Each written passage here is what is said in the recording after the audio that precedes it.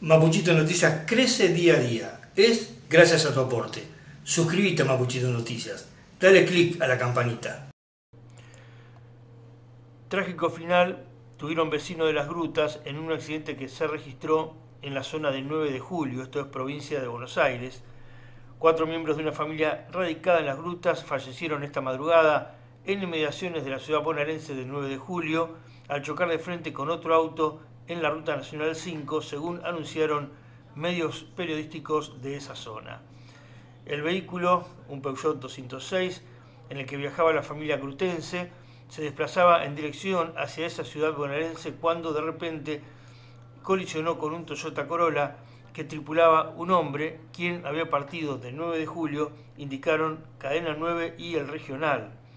Como consecuencia del impacto, cuyo origen está siendo investigado por la Policía y Justicia de la provincia de Buenos Aires, fallecieron del Peugeot 206 el conductor de 48 años, la esposa de 43 años, dos hijas de 19 y 20 años respectivamente. En tanto, los bomberos del 9 de julio rescataron a una menor de 13 años del interior del vehículo que fue llevada en grave estado al hospital Julio de Bedia.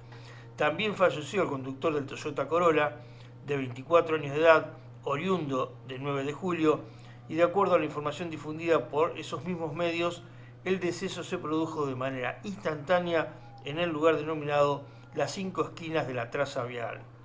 Trabajaron en el lugar bomberos del 9 de julio, policía vial, científica y personal de la ayudantía fiscal, mientras que la unidad funcional de instrucción judicial número 6 calificó lo sucedido como quíntuple homicidio culposo. Repito, en este siniestro vial lamentablemente perdieron la vida vecinos de la ciudad de Las Grutas en la provincia de Río Negro, a escasos kilómetros de aquí de Viedma.